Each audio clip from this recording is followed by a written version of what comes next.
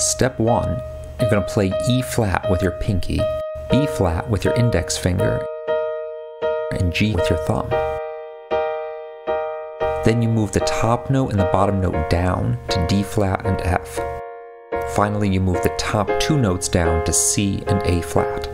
Step 2, you're going to play the chords broken like this. Step 3, play E flat in the left hand, then B flat, B flat again, and then F. Or, if you're playing with a band, you could double your right hand with your left.